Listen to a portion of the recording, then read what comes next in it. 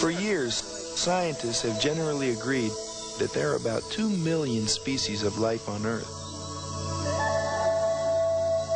But in 1982, a discovery in the rainforest changed everything.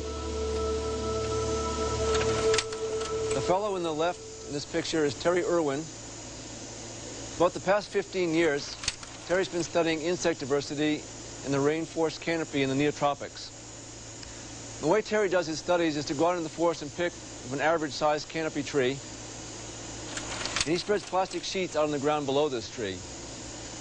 Then he shoots up with an insect fogger, and he claims it'll kill every insect in the tree. For the next few hours, insects rain out of the canopy onto his plastic sheet, and he goes out there when it's stopped, collects them all up, puts them in little vials, figures out what he has. Every time Terry does that, he finds he gets about 20,000 individual insects. More surprisingly, though, is that those 20,000 individuals represent somewhere between 1,500 and 2,000 species of insects. That's a lot of different kinds of insects. This is a single tree, remember. But it's not the most surprising number. One of the most surprising numbers I've probably ever heard is that 80% of what he finds is new to science every time he does it. If he goes out here and does a tree tomorrow, he'll find that 80% of the species are new to science. He goes down the trail next week, same thing, 80% are new to science. Goes across this quebrada and does another tree, 80% new to science. He has no idea where it's going to stop.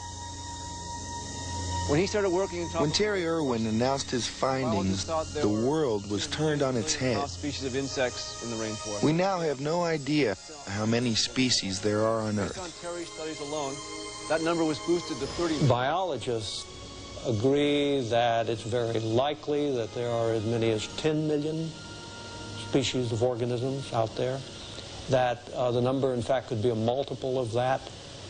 Extremists say maybe as many as 100 million. We are continuing to find surprising new dimensions of life on Earth, organisms that can live in excess of the boiling point of water, uh, organisms which, uh, you know, live in, in the deep frost of Antarctica. And we've just begun to explore life on Earth. Everywhere we look, new species of life are found. On average, two new bird species are discovered every year. Eleven species of whales have been discovered in this century.